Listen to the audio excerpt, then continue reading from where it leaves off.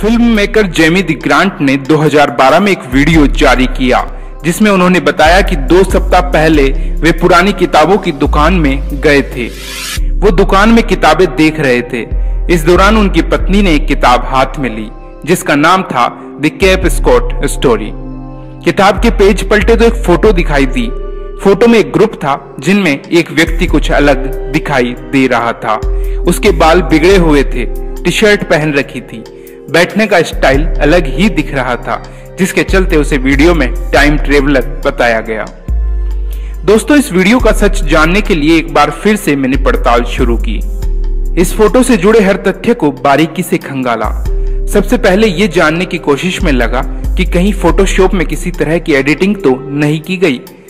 लेकिन the cap Scott story book के बारे में जानकारी ली तो पता चला कि इंटरनेट पर यह किताब बेची जा रही है। जिसमें ये फ़ोटो मौजूद है।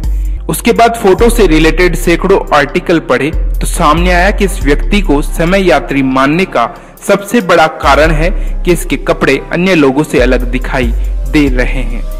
व्यक्ति ने टी शर्ट पहन रखी है। अब सवाल ये था कि क्या 1917 में टी शर्ट पहनी जाती थी?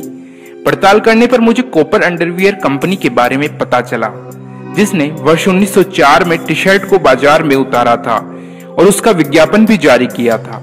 इसके साथ ही 1904 के समय में पहनी जा रही टी शर्ट कथित तौर पर समय यात्री बताए जा रहे व्यक्ति की टी शर्ट से मिलती है।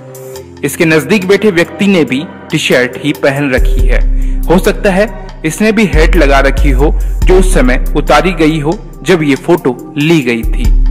हेट हटाने की वजह से व्यक्ति के बाल बिगड़े नज़र आ रहे हैं। इसके अलावा इस व्यक्ति में ऐसा कुछ भी नहीं है जिसके चलते इसे समय यात्री कहा जाए।